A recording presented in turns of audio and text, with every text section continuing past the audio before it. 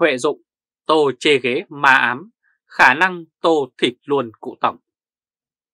Một nguồn tin rõ rỉ cho biết vào ngày 25 tháng 4 diễn ra cuộc họp Bộ Chính trị. Kết quả, ông Trần Thanh Mẫn, Phó Chủ tịch Thường trực Quốc hội làm Chủ tịch nước, bà Trương Thị Mai làm Chủ tịch Quốc hội, Đại tướng Lương Cường, Chủ tịch Tổng cục Chính trị Quân đội làm Thường trực Ban Bí thư. và ngày 26 tháng 4 sẽ diễn ra hội nghị Trung ương bất thường để thông qua vấn đề nhân sự. Ông Vương Đình Huệ bị cắt hết tất cả các chức vụ trong đảng và nhà nước. Nếu thông tin này mà chính xác thì Tô Lâm không có dự phần trong các ghế trống sau khi đấu đá khốc liệt khiến cho hai trụ trong tứ trụ rời rụng.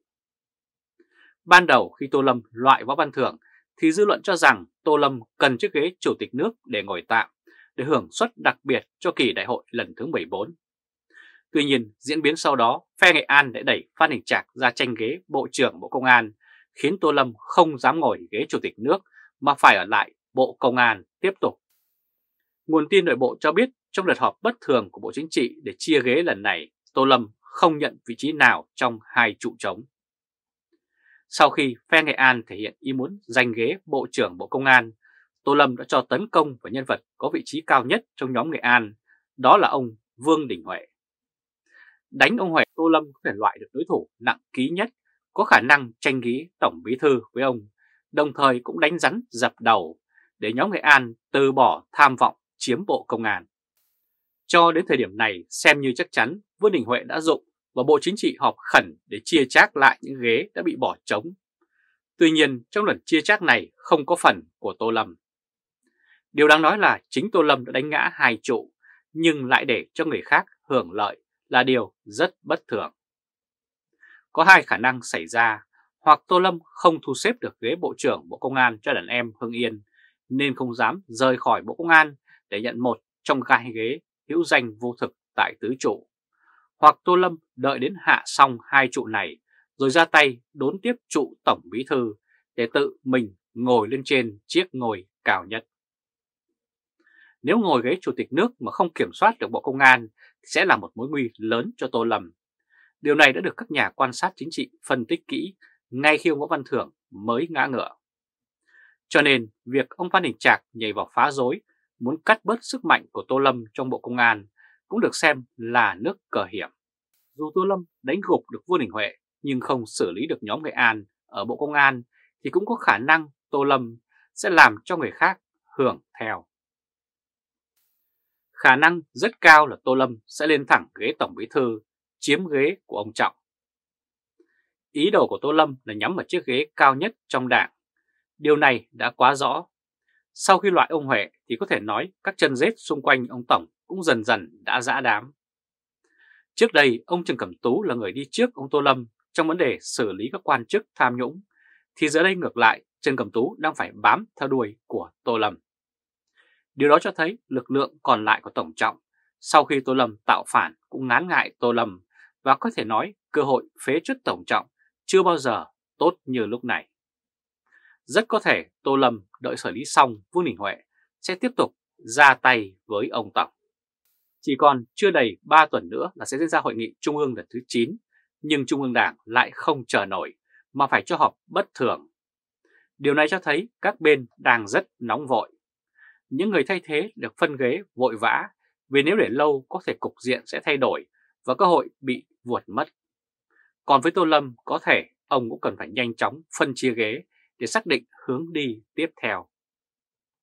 Cung đình của Đảng Cộng sản Việt Nam đang loạn. Sắp tới đây sẽ có rất nhiều phim hay để mà xem dù Tô Lâm đang là kẻ mạnh nhất nhưng kẻ thù của ông ngày một đông và mối thù của họ với Tô Lâm cũng ngày một sâu. Nếu Tô Lâm đoạt được ghế Tổng Bí Thư, át hẳn các thế lực khác trong đảng cũng không để ông yên.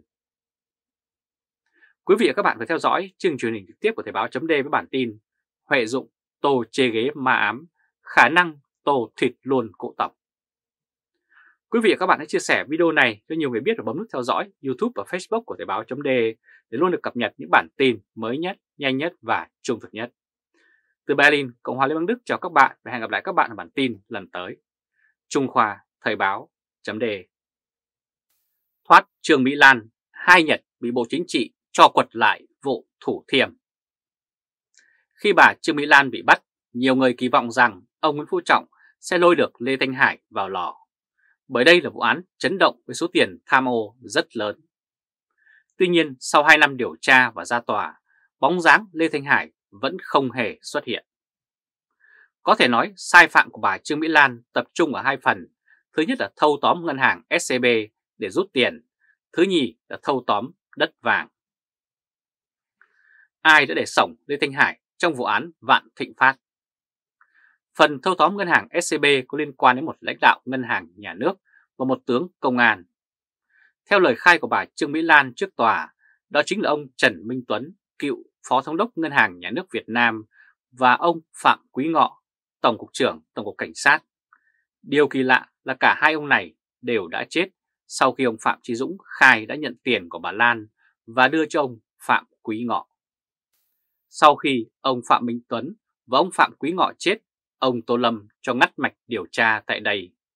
Hành động này có thể nhằm bảo vệ các lãnh đạo cấp cao của ngân hàng nhà nước bởi dư luận cho rằng chủ trương cơ cấu lại các ngân hàng yếu kém là chủ trương của thống đốc, còn phó thống đốc chỉ là người thừa hành.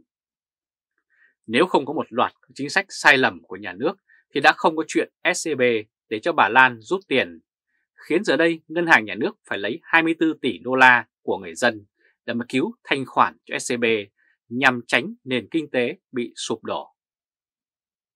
Người ra bất kỳ chủ trương nào cũng là người phải chịu trách nhiệm cao nhất, nhưng dưới sự tài tình của Đảng, những người đưa ra chủ trương chính sách thì đều bình an vô sự, bất kể nó sai đến đâu, bất kể gây hậu quả nghiêm trọng như thế nào. Không biết việc ngắt bạch điều tra để bảo vệ Nguyễn Văn Bình và Lê Minh Hưng là chủ trương của ai? Của ông Tổng hay của ông Tô Lâm?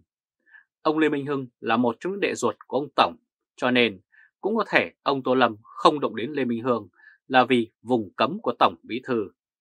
Còn trường hợp ông Nguyễn Văn Bình giới thạo tin cho là ông Hổ Mẫu Ngoạt đã dỉ tai ông Tổng để cho ông Bình hạ cánh an toàn. Có thể các lãnh đạo cao nhất của ngân hàng nhà nước thoát vụ Vạn Thịnh Phát là bởi ông Tổng Bí Thư Nguyễn Phú Trọng.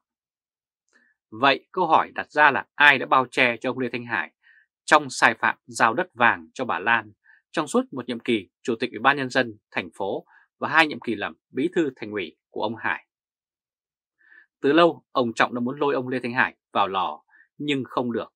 Chắc hẳn ông Trọng không phải là người ra chủ trương tha cho ông Hải trong vụ Vạn Thịnh Phát. Như vậy, chỉ có thể là Tô Lâm đã chủ trương làm điều đó. Mới đây, truyền hình Nhân dân, một kênh truyền hình của tờ báo Nhân dân, đã déo tên ông Hải trong vụ sai phạm Thủ Thiêm. Kênh này viện dẫn điều 9 của điều đại đảng để chỉ ra sai phạm của ông Lê Thanh Hải. Đồng thời, kênh truyền hình trên dẫn kết luận của Bộ Chính trị rằng ông Lê Thanh Hải vi phạm nguyên tắc tập trung dân chủ, một kết luận tương tự như các quan chức đã bị vào lò. Còn thông tin được tuần ra từ nội bộ đảng cho biết ông Lê Thanh Hải đã bị câu lưu ở Hà Nội. Truyền hình Nhân dân đã gọi tên ông Lê Thanh Hải. Vụ Thủ Thiêm đã bị ông Trọng khui ra vào năm 2018, tuy nhiên khi đó ông Trọng không thể xử lý được ông Hải. Với việc bắt bà Trương Mỹ Lan tưởng rằng ông Tổng sẽ kéo được ông Hải vào lò, nhưng hai Nhật Lê Thanh Hải vẫn thoát. Giờ đây ông Tổng phải mượn đến tay Bộ Chính trị để mà giải quyết. Xem ra trong việc điều tra sai phạm của ông Lê Thanh Hải, ông Trọng và ông Tô Lâm không cùng suy nghĩ và nếu trong vụ vạn thịnh phát, Tô Lâm cố tình bỏ qua cho ông Hải, thì đấy chính là dấu hiệu ông Tô Lâm đã không còn vâng lời ông Tổng nữa. Đến nay, điều này đã hoàn toàn thành hiện thực. Tô Lâm đã tự ý hành động mà không nghe theo ông Tổng. Quý vị và các bạn hãy cùng chờ xem sắp tới, Đảng Cộng sản sẽ còn rất nhiều câu chuyện để mà quan sát. Quý vị và các bạn có theo dõi chương trình truyền hình trực tiếp của Thời báo chấm với bản tin Thoát Trương Mỹ Lan, hai Nhật bị Bộ Chính trị cho quật lại vụ Thủ Thiêm. Quý vị và các bạn hãy chia sẻ video này cho nhiều người biết và bấm nút theo dõi YouTube và Facebook của Thời báo chấm để luôn được cập nhật những bản tin mới nhất, nhanh nhất và trung thực nhất. Từ Berlin, Cộng hòa Liên bang Đức chào các bạn và hẹn gặp lại các bạn ở bản tin lần tới. Trung Khoa Thời báo chấm